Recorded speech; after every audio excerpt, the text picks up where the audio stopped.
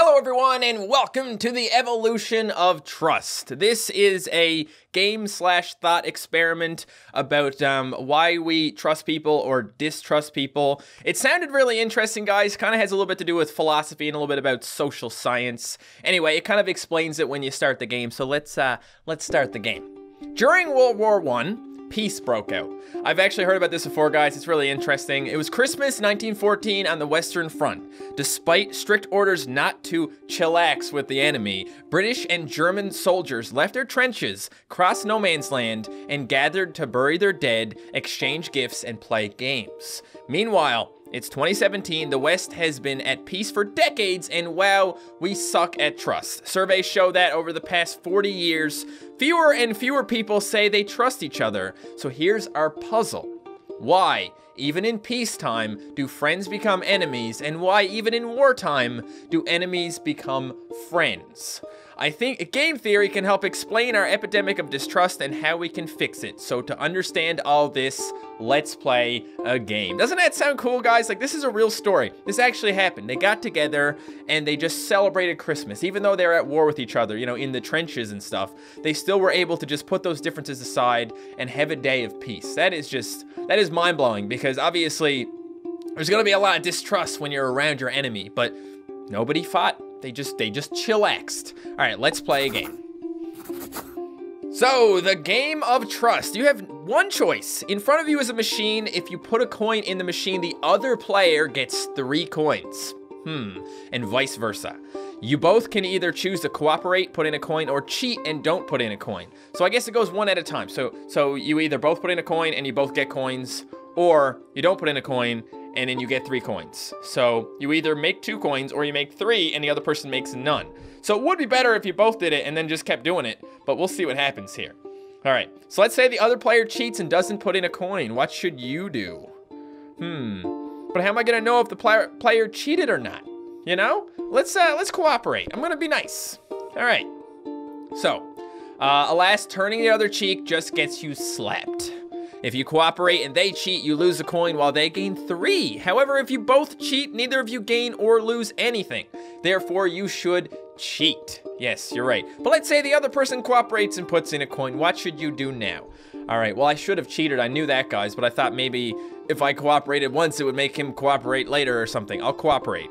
All right. Sure, seems like the right thing to do, or is it? Because if you both cooperate, you both give up a coin to gain three plus two and plus two. If you cheat and they cooperate, you gain three coins at their cost of one. Therefore, you should still cheat.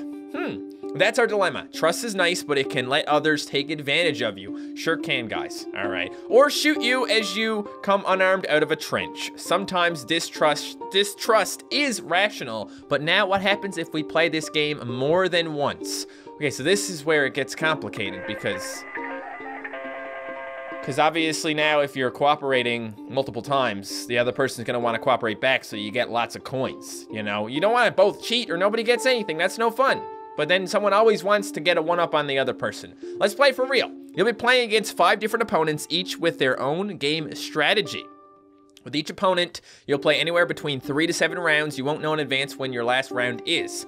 Can you trust them, or rather, can they trust you? Oh, I don't know how this is gonna work. I don't know what to do. Okay, so it's the first move. I'm gonna go ahead and uh, we're playing at least three rounds, so I'm gonna cooperate. Oh, we both put a coin in. Yay, we get coins. Good job, buddy.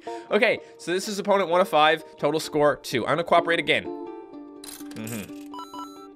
Because if we keep cooperating, there's no distrust. As soon as you lose that trust, guys, it's really hard to gain back. Everyone knows that if you lose trust with somebody, it's hard to gain back. So keep on cooperating. But as soon as this idiot stops putting coins in, I'm gonna stop putting coins in too, and we're gonna be in a bad situation. More coins. I want all the coins. This is good. This is great. One more. Yeah. Ooh, yeah. I don't know how many times we're gonna do this, but I'm making a lot of money. Goodbye. See, so together, we worked together, you know, and we made 10 coins each. Great. There was no distrust, no reason for anything bad to happen. But this guy's wearing a different hat, isn't he? Ooh, I don't know how I feel about that. All right. Two of five. Your total score is 10. It's zero to zero. What are we gonna do? I'm gonna cooperate first. I'm gonna try and establish. Oh, dude, you didn't do it. Well, now I'm gonna cheat. Cheat again.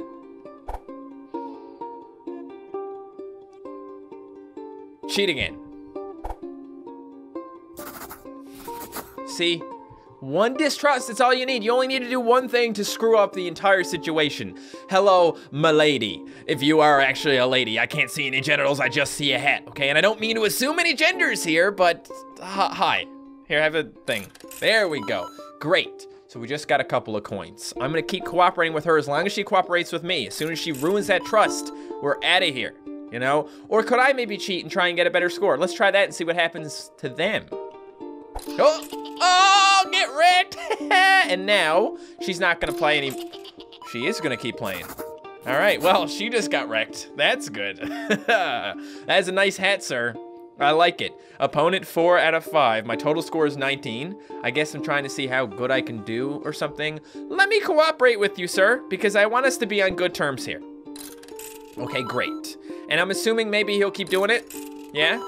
This is good. See, this is what you want. This is what you want to just have a nice, friendly, everyone gets coins. Because as soon as you, as soon as you um, break that trust, they're probably not going to want to play anymore. Now, the girl, she kept playing. All right, she, she didn't care. She was like, oh, he cheated, but that's okay. I'll just keep giving him coins. When I did it, I did not keep giving coins. I don't know when the last round is, so I can't try and get a one-up on him, right? And am I trying to go against these people? Because I have a total score. I just want to make money right? So this person, Mr. Sherlock Holmes, here you go, have a coin. Yay! So this is interesting because not a whole, not a whole lot is happening, but I'm gonna cheat now. Yeah, so now what? Now I'm gonna go back to cooperating with you, sir. Okay, so we had a one up. Everything is better now. The trust has been reestablished because of the whole, we're even, maybe. I don't know. Let's just keep cooperating here. Okay, great. So we settled our differences. It's all good. Would have worked better if we just gave each other coins, but fine. Good. 10 each. You're still here. Let's keep going. Yeah, this is good stuff. This is good stuff. You see, the fact that he gave me a coin after cheating once showed me that maybe he had a little bit of remorse or something, you know? So I, I, I got back at him and everything was good. So my total score is 41, which is pretty good. The lowest and highest is 7 and 49. So I got almost the highest score. The highest I could get is taking all the coins away, but that would be uh, that would be very nice. So who were the strange characters you just played against? So there's a copycat. Hello, I start with cooperate, and afterwards I just copy whatever you did in the last round, meow. Uh, we've got the always cheat, the strong shall eat the weak. So that was that guy. I told you, man, it was his hat. It wasn't a good hat. I know, it was kind of a cool hat, but whatever. Uh, this lady will always cooperate. That's why I managed to take from her. We got the grudger. Listen, partner, I'll start cooperating and keep cooperating, but if y'all ever cheat on me, cheat me, I'll cheat you back till the end of tarnation. And the detective, first they analyze you. They start cooperate, cheat, cooperate, cooperate. If you cheat back, I'll act like copycat. If you never cheat back, I'll act like always cheat to exploit you. Elementary, my dear Watson. Uh, so what happens if these characters were to play against each other? So now we get to watch and see what they do. Okay.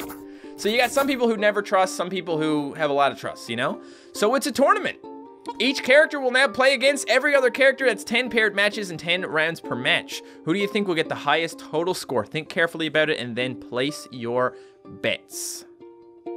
Copycat. The copycat is going to do the best because they start with cooperate.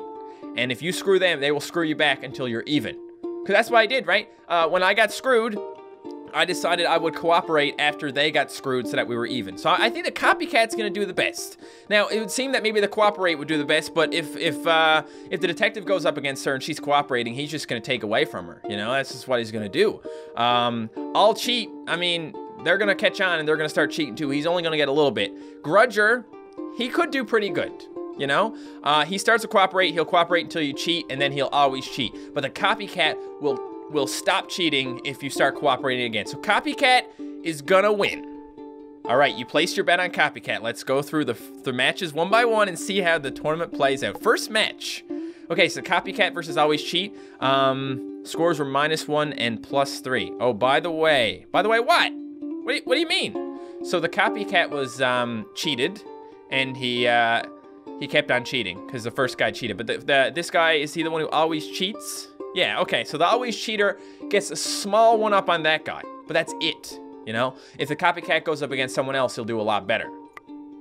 Copycat versus Always Cooperate, he's gonna make 20 and 20. Pretty good. Uh, you may be skeptical about that Christmas true story about World War I trenches. Surely that was just a fluke. Hmm, maybe it was. Copycat versus Grudger, he also makes 20. Good. Um, hmm. I'm wondering now, is this, eh, eh, eh, maybe the Always Cooperate is gonna win you know? But if she goes up against some people, she's not going to do as good. But I think maybe only this guy will really screw her over. So it might actually be her that wins. Next match. Oh crap, did I just miss something? Whatever. Not every trench joined in the peace, but it was pretty widespread. Many frontlines came up with the idea independently and again, despite specific strict orders not to. All right, always cheat versus always cooperate. Uh, she actually got minus 10 there. And in fact, even before Christmas, several frontlines already had established an unofficial secret peace. Hmm. Interesting. So they were like, hey, Christmas, we're gonna chill. Look at how many points this guy's got. The copycat's got all the points. It's about reciprocity. It's about rewarding good behavior with more good behavior and evening out the odds. Like, that's what I did. I basically played as the copycat in a way. So let's go to the next match. Always cheat versus grudger. So the always cheat is gonna get plus three, but the grudger is not gonna let him have any more than that. Same thing with uh, the copycat, right? So he's not gonna do that great there. He's gonna get a little bit, but that's about it. And obviously he's going to do well against the lady who always cooperates. They called it the live and let live system. Basically, you don't shoot me and I don't shoot you, and this worked in a lot of places because they know that there's going to be reciprocity. They know that you're going to reciprocate whatever they do. If one person shoots, you all end up dead pretty much. Nobody wants that. You much rather play some football or whatever, you know? Uh, I don't know if they, they probably didn't have balls in the trenches, but they, I'm sure they had fun. Okay. Next match. So the always cheat versus the, versus the detective, the always cheat will win. You may still be skeptical. Most soldiers don't spontaneously form peace with the enemy. What's so special about trench warfare? Next match. Always cooperate versus grudger. They'll do okay. They'll get some points. Good stuff. Here's what's unique about the trenches. Unlike almost every other form of war, you have to face the same specific soldiers every day. Hmm, I didn't even think about that. So you gotta learn about these people in a way, right? They always cooperate versus the detective. Um, the detective's gonna do great. It's a repeated game and that makes all the difference. So yeah, she's always cooperating. As soon as he finds out that she's cooperating, he's gonna cheat. You know, he cheats, uh, well, hang on a second. So two and two, he cooperated, then he cheated, uh, then he cooperated, cooperated because she was still cooperating. But then he realized that she was always gonna cooperate and then he cheated her a whole lot. Interesting. Now, Grudger versus Detective, um, not that great because of the fact that he knows that if the detective tries to screw him over, he's just gonna give up. Drum roll, please. I already know who won. Copycat! Yeah, you place your bet on the right horse. I know how it works, guys. I got my thinker ready, okay? Yeah. Copycat goes by many names. The golden rule, reciprocal altruism. What did I say? Reciprocity, right? I took some philosophy in school, guys. Uh, it's very interesting stuff. There's so many weird situations. I mean, I did that game with the car and the self-driving car and the hitting people and killing dogs and uh, that was a little bit controversial, but it was really fun. Uh, tit for tat or live and let live. If you don't do anything to me, I won't do anything to you. You cooperate when I cooperate the first time, and we have a great relationship going until you screw it up. And then you can actually make peace with me if you just cooperate again, then I'll just go back to cooperating with you. Good times. That's why peace could emerge in the trenches of World War I. When you're forced to play the same game with the same specific people, not just the same generic enemy over and over again, Copycat doesn't just win the battle, it wins the war. But if things change a lot when you play multiple rounds of the same game, what if we play multiple tournaments. Wait, how's that gonna work? Is it gonna be the same? Oh, well, not if you have things being different within the games. How's this? Okay, let's say our population of players evolve over time. It's a three-step dance. So you play a tournament. Let's uh, let them all play against each other and tally up the scores. So the people who always cheat versus the people who always cooperate. The cheaters will always do good. They will always take advantage of people who are always nice. But you don't want to always be nice. You got a copycat now and then. And repeat for as long as you'd like. You don't have to wait for people to literally die and reproduce for culture to evolve. All that's needed is that unsuccessful behavior goes away and successful behaviors are imitated. So now, so I guess they decided to always cheat because they learned that the only way to get ahead is to cheat. You won't even get ahead technically. the only thing you're gonna do is you're just gonna you're just gonna have zero at the end. But it's better than losing, and that's what these ladies decided on. Instead of losing, I'll become a man, and male privilege lets me win. Not really, not at all. all right, so so we start with the following population of players: 15 always cooperates, five always cheats, and five copycats. We ignore Grudger and Detective for now because they're complicated, right? They're complicated dudes. We're gonna do the tournament eliminate, reproduce, dance a dozen times or so. So let's make another bet. Who do you think will win the first tournament? Place your bets again. Well, uh, most of the people here are cooperators, right? So I think that the uh, all cheats are probably going to win because um, they're going to make the most money off those people. Makes sense. Always cheat has a lot of always cooperates to exploit. Let's see if you're correct.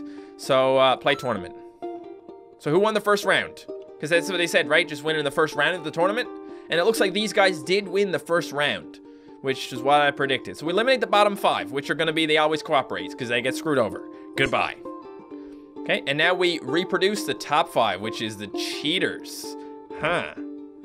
Sadly, you were correct. The always cheaters won this time, and their numbers increased by five. Let's try a few more rounds of this. So what's going to happen now? Now it's going to be a little bit um, closer to the copycat, I suppose. Uh, they're not going to have much of a lead, maybe none at all. It really depends. We need more copycats. Play the tournament. Okay, so they're still winning. Sadly, you were correct. The always cheater won this time. The numbers increased by five. Eliminate the bottom five. Reproduce the top five. Always cheat is still growing at the expense of always cooperate. The, the copycat is not being taken away here. So we play the tournament, and we eliminate the bottom five, and we're left with always cheat. And now, all the always cooperates are dead. But wait. Ooh, what's this? What just happened here? Now, okay, so so we eliminate the bottom five, but how did they win?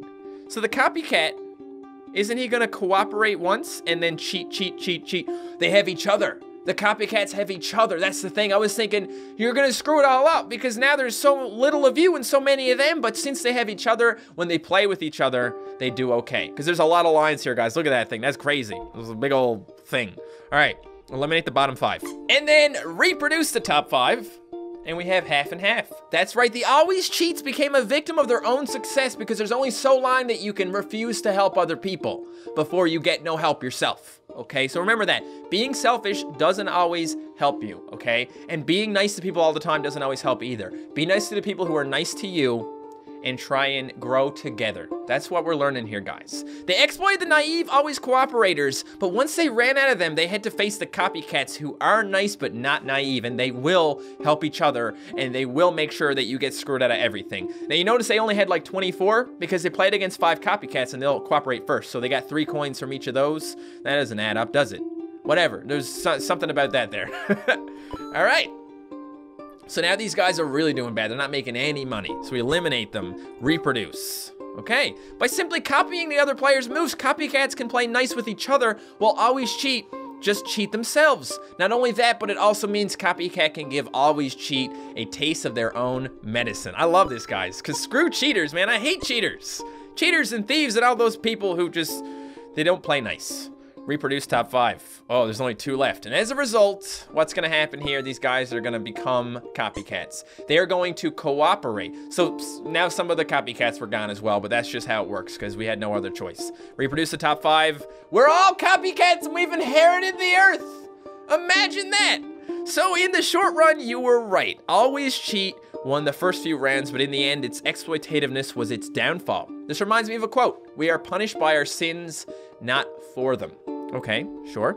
Oh, and by the way, this result is similar even if we put Grudger and Detective back in, because Grudger and Detective don't make the most money. Copycats make the most because they help each other and they help anyone who helps them. The detective will eventually get back on the right track with the copycats because they do cooperate, cheat, cooperate, cooperate. So after you do that a couple times, the copycats will cooperate back and they'll realize, okay, these guys want to make me money. Good. Uh, and the grudgers, obviously, they're not going to have a problem with these guys. They'll be nice until you're not nice to them. So start the evolution process. Look at that. They just disappear. They, they, they, they disappear over time, and then we're left with just copycats. Uh, and it's just going to keep going, which is cool. All right, well, permanent evolution of just that. Sometimes a few Grudgers may stick around because when all players except Grudger and Copycat are eliminated, the two tie. But since eventually you, got you just gotta eliminate the bottom five, even if they're all the same, so they will eventually statistically get removed. But yeah, if you just have grudgers and copycats, they'll just be the same. Uh, so it seems the math of game theory is telling us something that copycats' philosophy, do unto others as you would have them do unto you, may not just be a moral truth, but also a mathematical truth. However, I mean, this is a very, this is a very isolated incident right here. There's a problem. Oh, fart noise, that's the problem. Okay, look around. The world's full of total jerkwads. If copycat is the strategy in this repeated game of trust that's so powerful, even soldiers in World War World War I trenches independently evolved a similar strategy called live and let live. Why then are there so many untrusting, untrustworthy people? What's causing the epidemic of untrust? I would say it's the fact that you don't know who you're gonna get. You don't know what kind of person this is. And once you get burned so many times, you just get really cynical and you become them you copy what they do because you're in the bottom five now. You have to have enough trust to get the ball rolling, I guess. A clue is in the sentence itself. In this repeated game of trust, so far we've only talked about change in the players. What about a change in the game?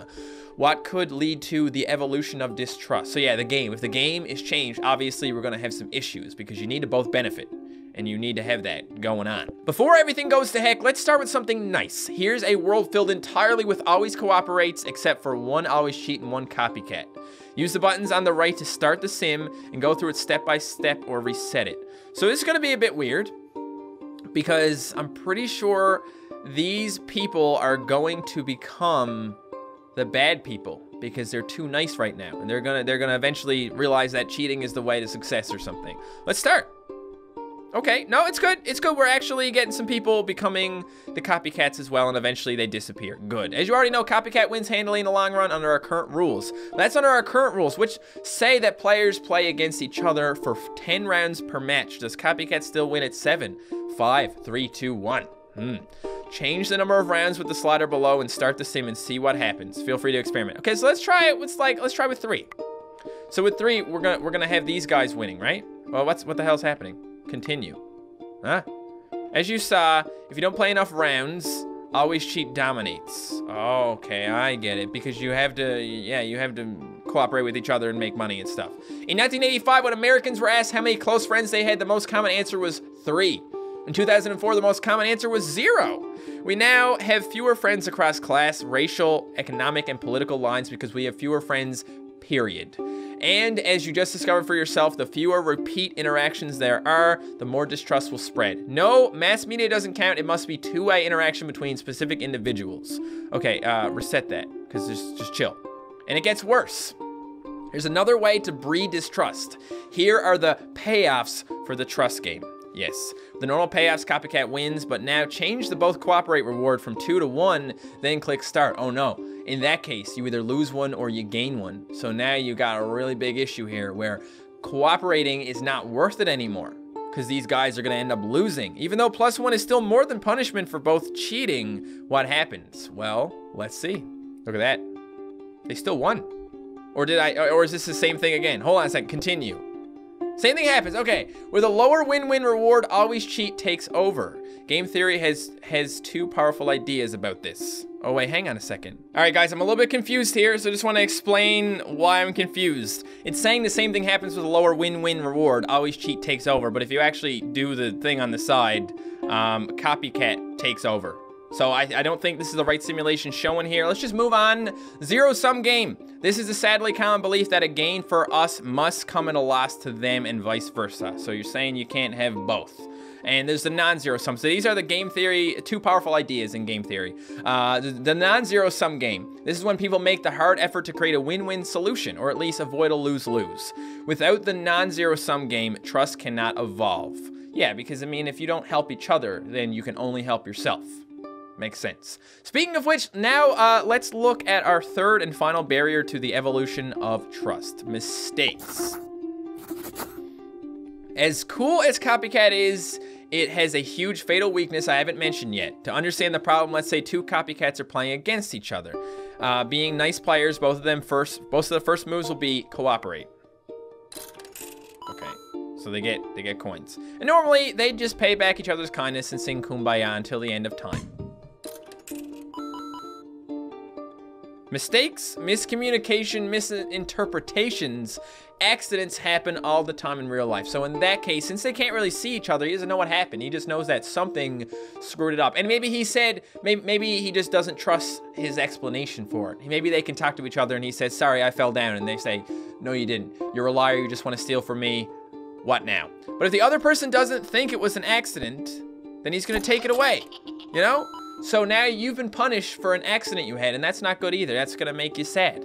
So, um, uh, the pl other player being a copycat had to retaliate, and you being a copycat as well will also have to retaliate. Oh, so this is where it gets crazy. So now you've established so much distrust that you'll never get it back. Now everyone's cheating, right? What? What? what? Oh. Yeah, this is cool. So now they're doing whatever was done last round by the other person. So they're still making money, right? It's still three and one. Thus, like the Hatfields and McCoys, these two copycats will spiral into an endless cycle of vengeance that started over a single mistake a long time ago. But what if they make a mistake again? If they make a mistake again, they could um, be in a constant cycle of nothing. Or, uh, well, eventually, then it would make a mistake and go back the other way. But you could also make a mistake and accidentally put it in, and then all of a sudden you're both cooperating again. That's interesting. Uh, tragic, but now, are there other types of players who can deal with mistakes? Hmm. Yes, there would be, right? I mean, hmm. Let's meet some new faces or new hats anyway. All right, I hope you guys are enjoying this video. Uh, I know this is a, a, bit of a, a bit more of a philosophical kind of thing, and it's a bit longer, but I'm having fun reading all this stuff, so I hope you guys are too. Uh, okay, so new faces. We got Copy Kitten. I'm like Copycat, except I cheat back only after you cheat me twice in a row. Okay, so they're forgiving. After all, the first one could be a mistake. Per, aw, oh, how sweet. Uh, and then there's a simpleton. I try to start, I try start cooperate. If you cooperate back, I do same thing as last move, even if it mistake. If you cheat back, I do opposite thing as last move, even if it mistake. What? Okay, so I think they have like a system where if you do something bad to them, they just switch what they're doing. That's what it is. They switch, and then if you keep doing bad, they'll switch again until they get the right thing. And then there's a random. There's a monkey robot ninja pizza tacos. LOL, I'm so random. Purple monkey dishwasher, am I right? Just plays cheat or cooperate randomly with a 50-50 chance. Let's see how these peeps do when they play in a tournament. This is gonna be fun. So let's start with the dozen. Oh, there's all kinds of people here now. Okay. A dozen always cooperates versus our old winner, the fair copycat, and our new three characters, the forgiving copycat and the dull simpleton and the silly random. In each round of a match, players have a small chance of making a mistake, let's say 5%. Who do you think will come out on top? Think carefully and then place your bets. Hmm. I'm gonna say copy kitten because there are now mistakes. That's kind of why they introduced copy kitten because it's someone who can kind of um, make up for that. Starts with cooperate, only retaliates it with a cheat if you cheated it twice in a row. But maybe the simpleton is better here. You know, because the simpleton, uh, he's gonna flip uh, depending on if you cheat him, and then if you if you cooperate again, he'll flip back or something. I don't know. He, him, he's a bit weird. If you cooperate the last round, it repeats the last move, even if it was an accident. Uh, but if you cheated in the last round, it switches its last move, even if it was an accident. Okay, so copy kitten. I'm gonna say copy kitten, and we'll see what happens. All right, you bet Copy Kitten wins. Let's find out. Use the controls to start to, to your left to start the sim in quick mode or go through it step by step. Uh, let's go step by step. So who got the most there? Hmm. Uh, so it looks like, jeez. So it looks like Copy Kitten didn't do as good as the random. Well, the random is good because these guys, right? But it's gonna get different. So if we keep going, they get eliminated. And then I'd say as the as the always cooperates go away, we should have more in favor of the copy kitten instead of in favor of random because he's just randomly doing things to cooperate and winning.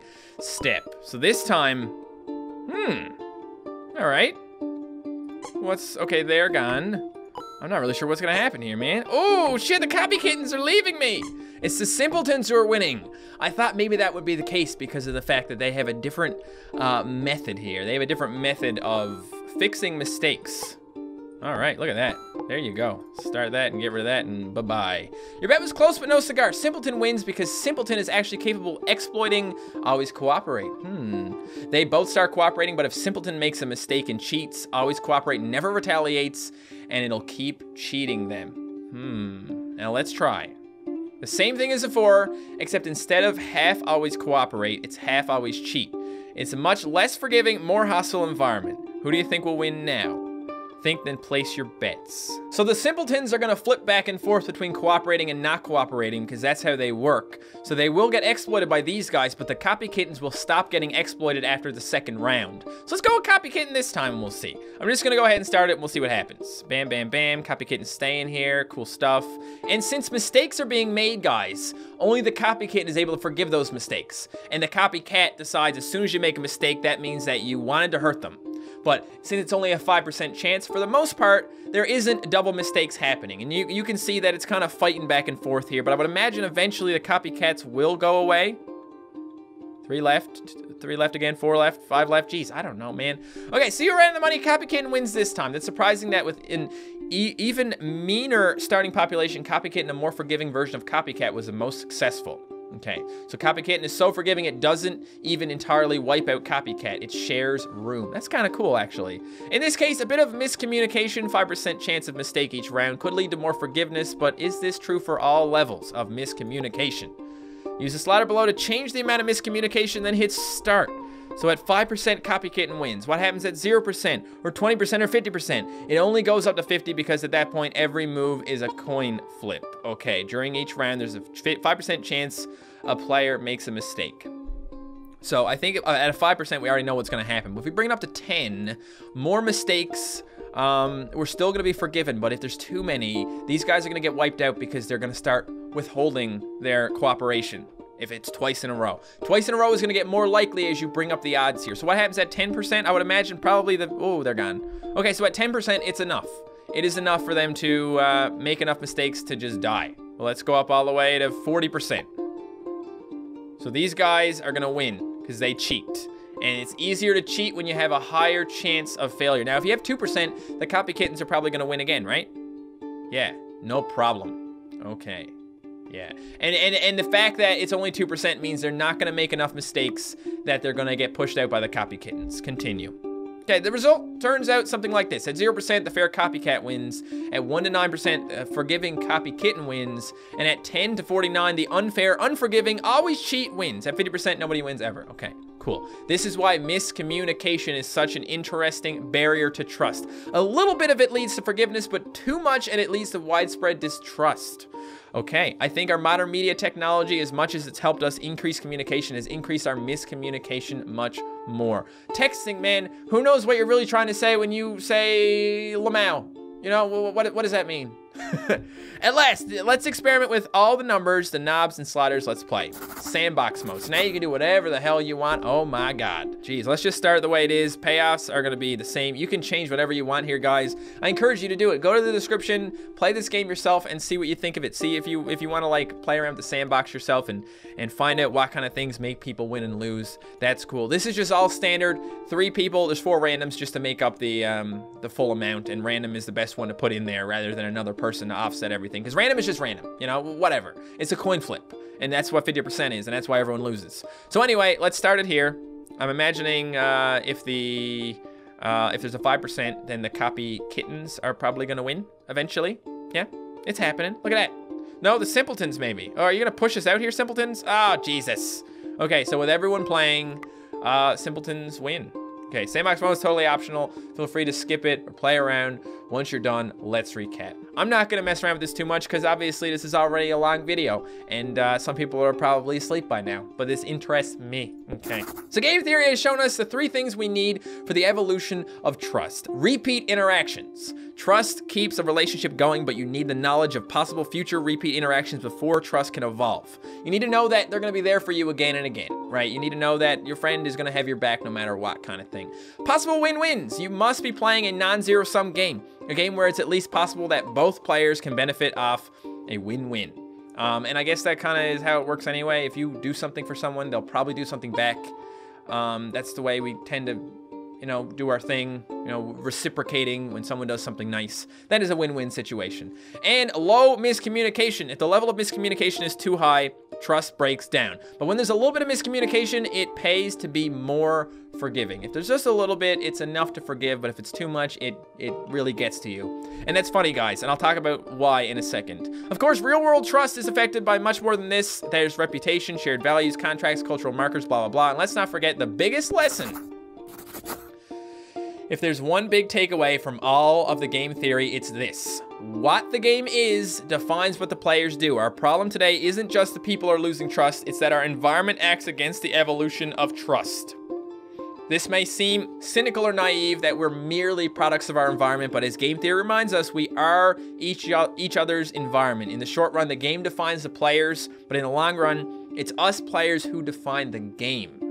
So, do what you can do to create the conditions necessary to evolve trust. Build relationships, find win-wins, communicate clearly. Maybe then we can stop firing at each other, get out of our own trenches, cross no man's land to come together and all learn.